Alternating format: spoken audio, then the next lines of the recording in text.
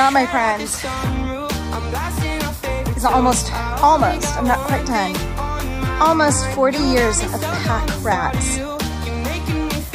Just packing in things that they bring from outside to make nests in, in the pump, pump house. So, so here's my progress. It's slow. My little cabinets, I'm gonna take those over and uh, get them cleaned up. And uh, I still have that ready to go. And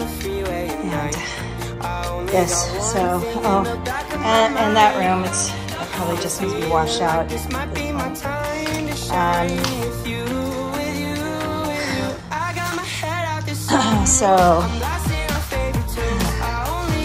so here's, and here, and here's the other room, which somebody had broken into. So I need to clean up all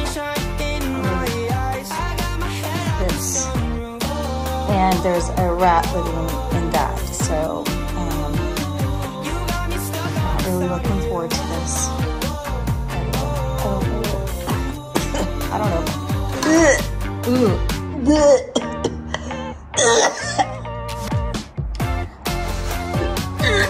Okay, so smells really get me. And that room smells. Sorry. Whoa. So, I think I'm gonna lose 30 pounds and then go to Hawaii after this. That's my goal. All right, thanks. Bye. I made a big mistake while I was pressure washing.